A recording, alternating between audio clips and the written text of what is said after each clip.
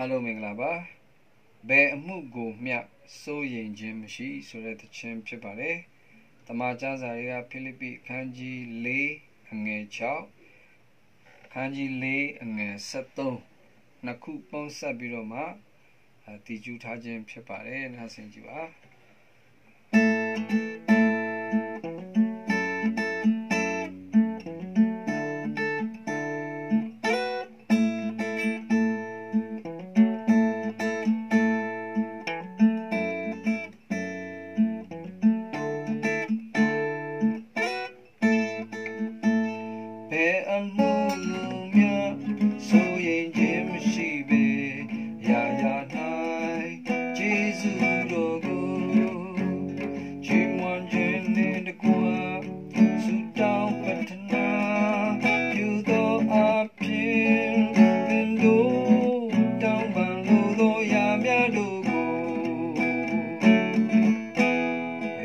င်အား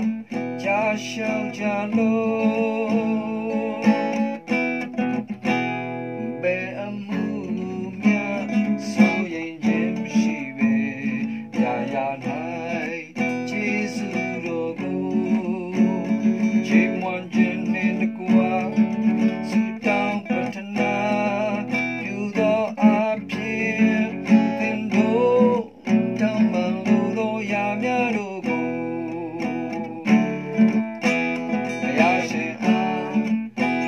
ရှောက်